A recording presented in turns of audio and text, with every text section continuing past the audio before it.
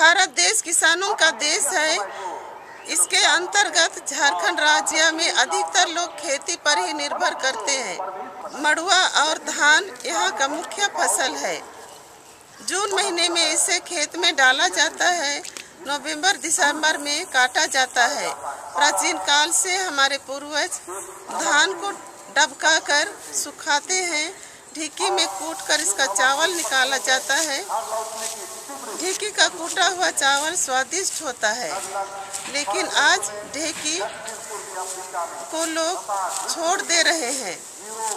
आधुनिक मशीन का इस्तेमाल कर रहे हैं। मड़ुआ एक औषधि भी है।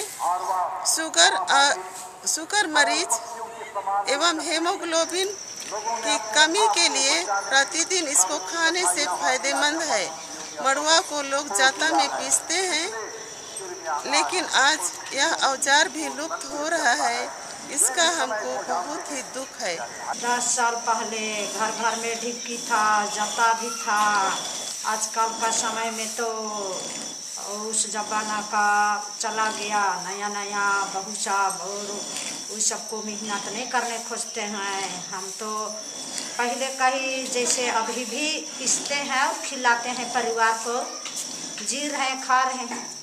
आजकल का समय में ये मड़वा रोटी कोई नहीं पसंद करेगा, नहीं खाते हैं। पहले ज़माना में हम लोग तो खाते थे, इसलिए वही पकाए और पीसे और पकाए और अभी पका के खा रहे हैं अभी।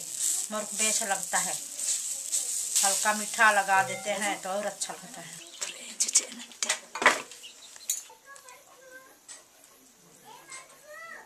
अच्छा लगता है गो पैर हाथ।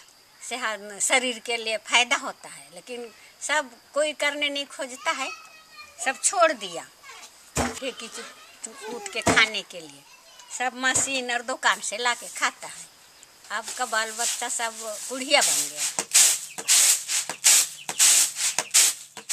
आज से करीब 10-12 साल पहले हमारे आदिवासी लोगों का प्रत्येक घर में ढीकी कूटा हुआ चावल और जाता से पीसा हुआ मड़वा रोटी खाते थे, जिसमें ज़्यादा आयरन मिलता है और प्रसौती पीड़ा के समय उनको ज़्यादा तकलीफ़ नहीं होता था।